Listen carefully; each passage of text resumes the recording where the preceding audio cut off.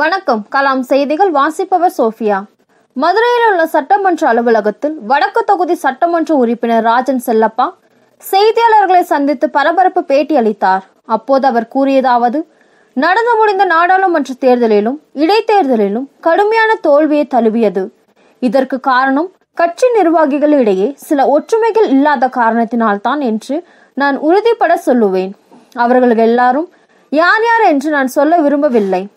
தேர்தல் முடிந்த பதினெட்டு நாட்கள் முடிந்த சூழ்நிலையிலும் கூட இதுவரை தோல்விக்கான காரணம் என்னவென்று ஆராயப்படவில்லை என்பது மிகப்பெரிய வருத்தமாக எனக்கு உள்ளது. உடனடியாக பொதுக்குழுவை கூட்டி இதற்கான காரணத்தை கண்டறிய வேண்டும் எனவும் கேட்டுக்கொள்கிறேன்.